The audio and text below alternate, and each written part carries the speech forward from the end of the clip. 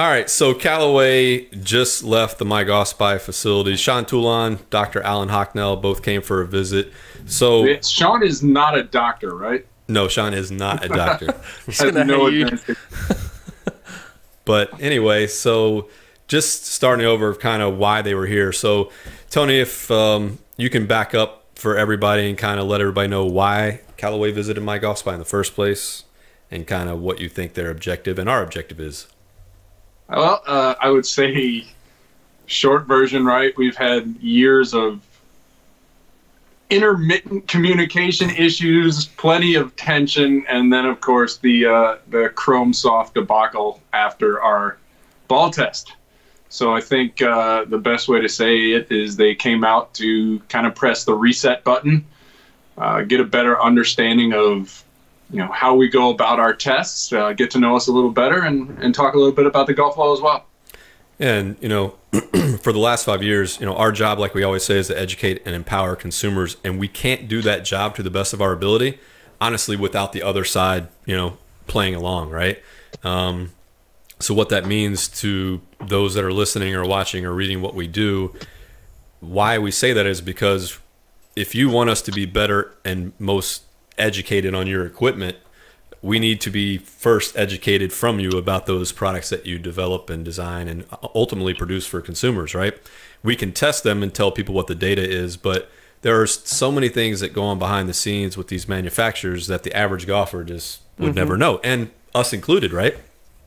So Harry Arnett leaves today at Callaway Golf, and if I'm being completely honest, I think he had a big part. Harry's a really talented guy, but our relationship status with Callaway was hindered, I think, because of one person, and I think that was Harry. And I understand why. And uh, but that being said, we are hitting the reset button. Harry's leaving, and I think there has already been change uh, in regards to the vibe between the Yeah. two companies, and that's good ultimately for the consumer. I think so. The objective for the two companies was pretty simple: just get a better understanding of where they're coming from, where we're coming from, which ultimately helps consumers in the end uh, get a better product. I hope, right, Tony? Oh yeah, hopefully, right? That's uh, that's what everybody wants, uh, and Well, think- hopefully, hopefully that's what everybody gets.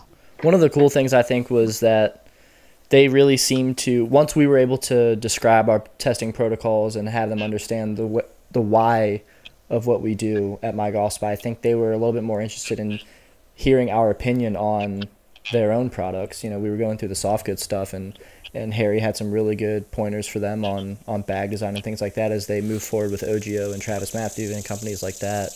Um, you know, for them to ask for our feedback was, I think it was pretty good, pretty big deal. Yeah, and I don't think people understand the complexity of the the process and problem that we have to solve. Meaning, we have to come up with really rigorous testing protocols, not just for one category, but for thirty. You know, and that takes a lot of work and a lot of dedication that everyone here does every day. And I don't. I think a lot of companies understand that, but I don't think Callaway did, and I think they do now. And what's best that comes out of this, I think, is that we want their input on testing, right? right. We want everybody's input, anyone's mm-hmm. body, anyone's input that can make our testing better. And while we think we have good testing, there's no perfect testing. You can always improve. Yeah, exactly. Yeah. So um, the objectives, I think, for both were to reset, like Tony said, and the result of what will happen because of this is already happening. So Tony, tell them just kind of some of the changes that are happening at the the Callaway uh, golf ball plant. Not specifically because you started cutting open their balls, but it definitely had some impact and they readily admitted that and understand that they had a problem and how do they plan to fix it really Yeah, I mean, I think the the real quick version of the story is there are some changes going on at the ball plant. I guess you could probably call them uh, both process and machinery upgrades. With the ultimate goal, I think probably the, the simplest way to explain it is to create products and processes that either meet or exceed what Titleist is currently doing, right? Because for all the talk of, you know, Titleist talks about quality and, and quality control and quality checks. Um, I think when you talk to other guys in the ball industry, for the most part, they agree that yeah, Titleist does a really good job at that stuff. So if if you're going to compete with Titleist on the quality of your product to a degree, you need to do the same kind of things they do, or or even go a step beyond that. So, you know, the the first kind of real obvious one is that Callaway has has new machines coming in and new processes to center the core of the golf ball properly, consistently, which you know obviously we know is a problem. There's there's been some improvement already, but that that's a big part of what they're doing.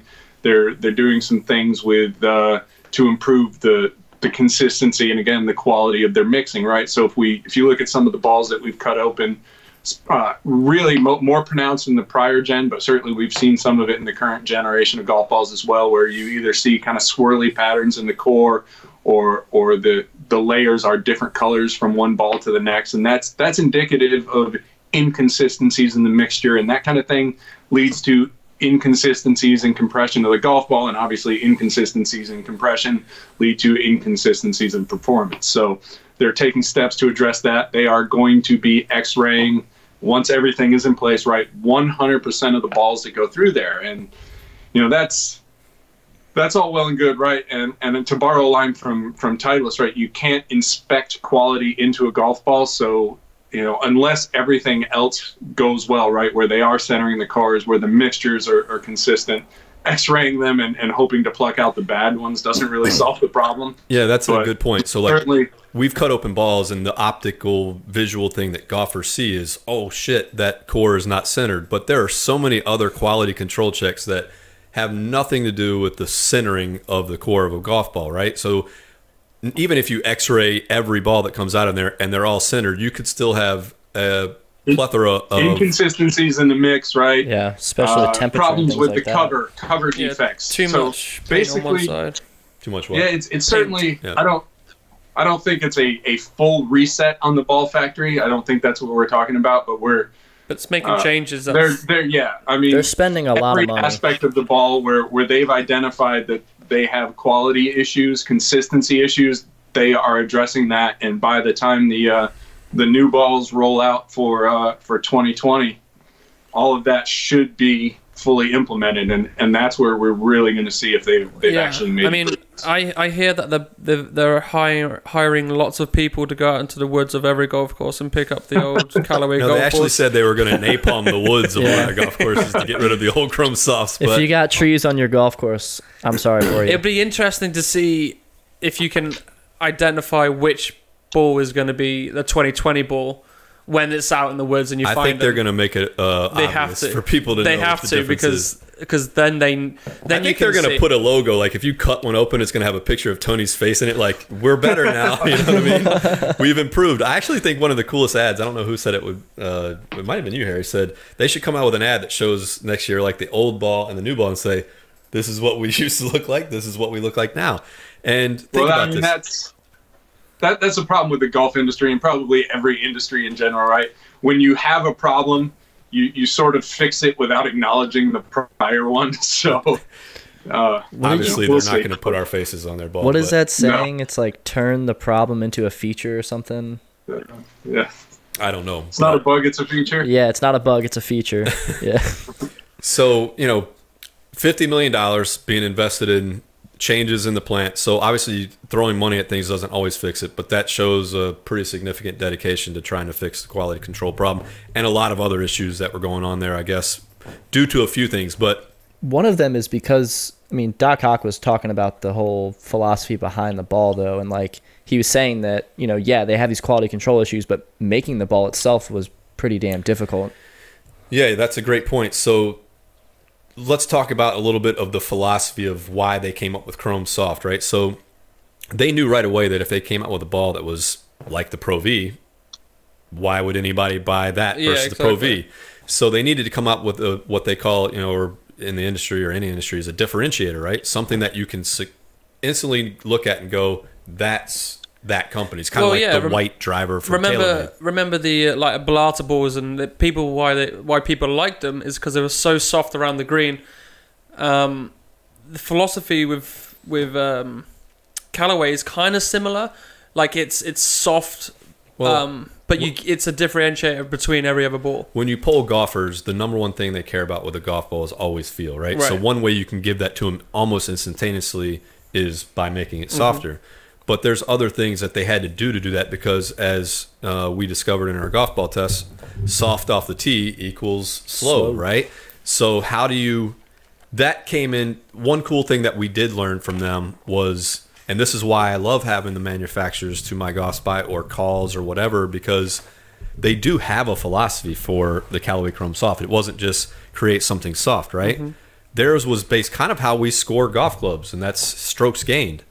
So, yes, soft is slow off the tee, but what they look at it as is the totality of a round of golf.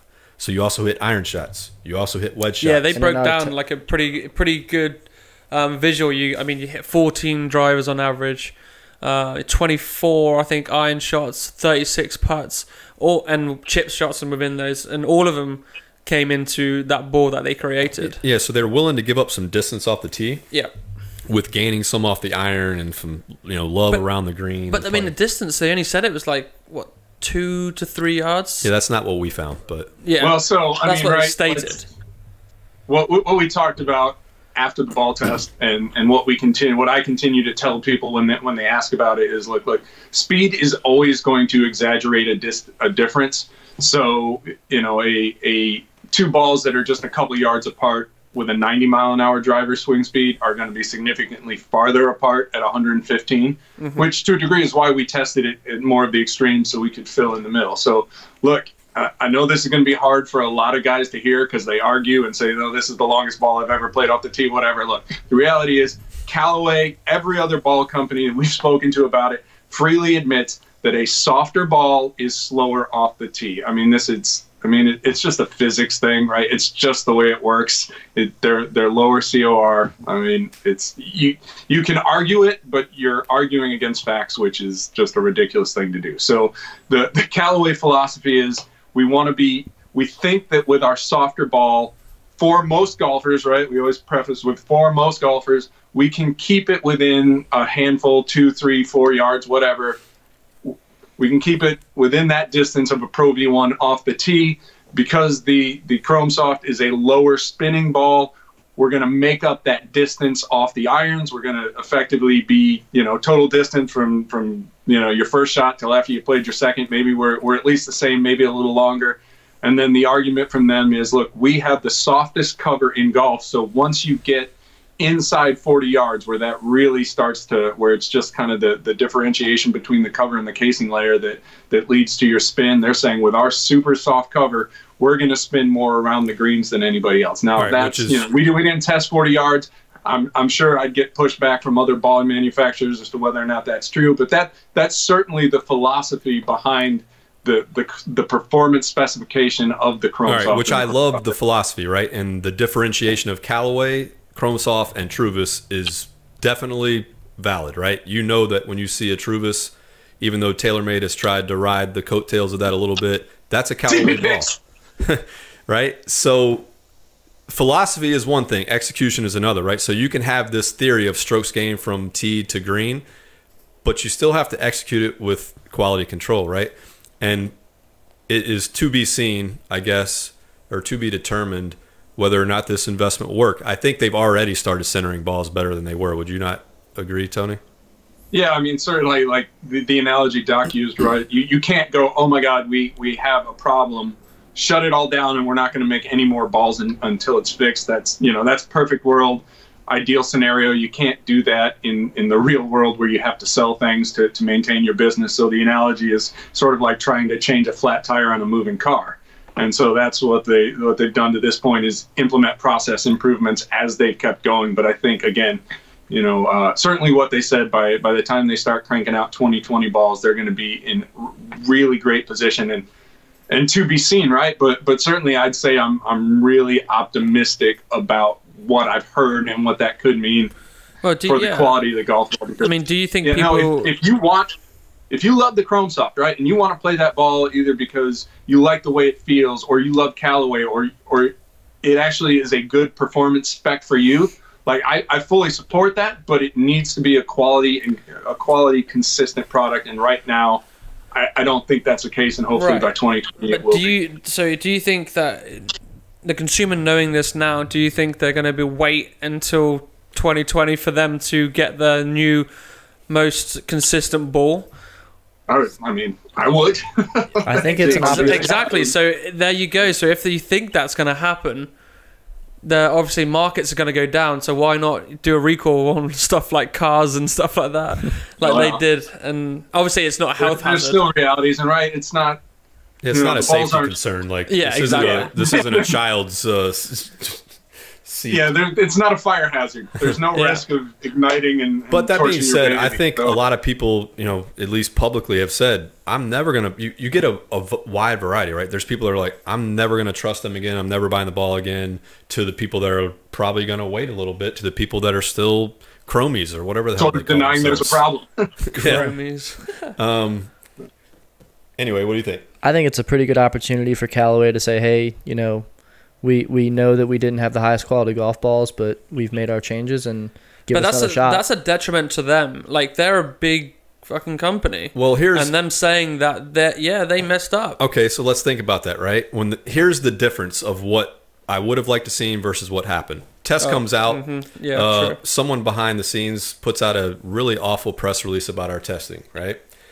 To try to uh, throw us under the bus and all that stuff. Versus that person no longer being there and the new, not the new CEO, but the CEO going, all right, let's hit the reset button and let's face facts, right? We've got a problem. We're going to fix it.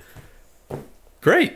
You know, there was a problem. that And looks now so good on them, though. it's not even about. I, It's just what you. It does look good, right? There's no doubt about But that. w- would would they have addressed the problem if Tony didn't start this craze?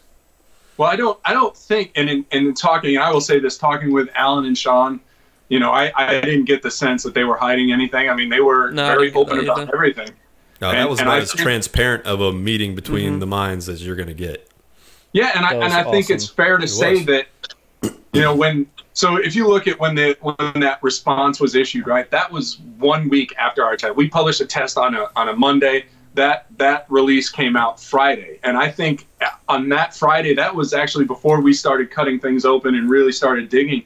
And and I think it's fair to say that when that came out, Callaway didn't know the extent of the problem they had at, at the factory. So, you know, I'm I'm going to go like it, it wasn't until hey, you know, they really balls started getting cut open and they started taking I a don't know. closer I, look. I don't know about that. I mean, during conversations Harry had with Hocknell, they knew they had a problem. You know, at the plant with QC. Was Yeah, I- I that was that understood the full extent communicated? Of it. Right, that and was that communicated properly towards the higher ups? So yeah, I, I, that's the qu- that's if you the if main you think about the, the the people in the plants, dude, they got if- if- quotas to if- hit. Well, you know? they do, and if they know that they've, Gotta you know, if, up. Yeah, if, if they've effed up, it's it's gonna be one like if I if I say that we've effed up, I lose my job.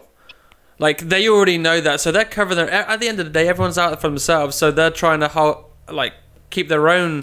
They got numbers to hit. you They know? don't have. They didn't have their quality control standards that they could check these balls to even see if they were centered. You and know? they were growing at a significant pace, right? So like That's what Yeah, I'm they've They've been growing Sure. too fast, maybe. Yeah. balls were flying out of there, so they could Yeah. either go, "Holy shit, we're going to stop everything," or we're going to keep pumping these things Yeah. out. They made the wrong decision, in my opinion. But at the end of the day, they're going to fix it, and hopefully, Yeah, for I mean- golfers, I think what Tony discovered and started doing is something that is going to impact golfers not for the next year because of Callaway.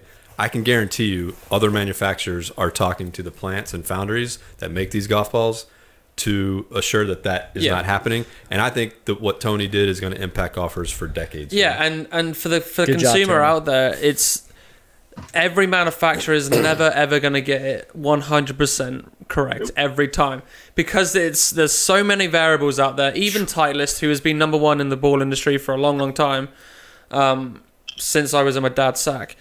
Like it's been a long time since that's happened. So when it comes to Not um, the way it works.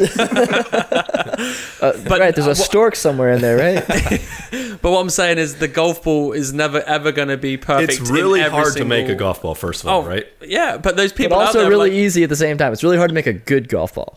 I would say it's really hard Yeah. to make, Make any a golf ball. To to fuse the rubber and on the blah blah Yeah. blah. Not just that, the blending of it, all the stuff Oh my that god! we learned There's and so know, much. It's it's just not easy to make that ball. So the harder something is to make, the more difficult it is to. But I, in in my my advice was would be even from now into ten years from now, just keep checking the balls yourself because you might find one in there that's going to be a little bit lopsided, because it's hard to catch every single ball when you're making twelve. How many? It was like two hundred, like two hundred and fifty million balls Callaway came out with, or something. Or Oh, it something was like a few million dozen. Yeah, so it's Oh Fucking no, it's, ridiculous. it's, it's a massive, massive. Yeah, so- of balls. So if you you see- know. so many Yeah. balls. So if you see a guy in the out in the Balls. woods napalming old balls, just know that they want to get rid of a lot of those millions of balls and start hit the reset button, right? All right, so that's enough about Callaway and the trip. It was a great trip. Would you not agree? that was a lot of fun. Yeah, it was. You almost broke the record for the basketball shoot game at uh, I beat you first at time. the beer hall. Mm, I, Yeah, it's. I, I, it's always good. It was an off night. Sean, even even if he's an asshole. who's that? Sean, Jeez. He's an Honestly- he's an interesting dude. Honestly, people can say whatever they want about Sean and Alan. I don't know. I'm sure they're liked by most, but I have never been a part of a meeting like that. That the other side, especially a corporation that big, was that open and honest. Yeah, they And that was my first got some meeting good guys with, working with for them. Sean and Doc, and couldn't think anything highly, uh, more highly of them. I think they were very transparent. They're very down to earth. They obviously know the the shit. yeah. Alan, Um, Alan's a smart guy, and so is Sean. Yeah, it was that was a lot of fun. I Sean's think, a I think professional. Alan's probably smarter because he's a doctor, and Sean's not. But Wait, so Sean is or is not a doctor? Sean's gonna Sean send is you. not a doctor. Okay, all right, just make sure. If Sean's Sean, listen, not Dr. Toulon. if Sean's listening to this Sean podcast, will be please send a bag of dicks to Tony. yeah, we'll give you his address. Email me, I'll give you his address. Just not the ones I'm from gonna China. get a text. I will be getting a text at some point today.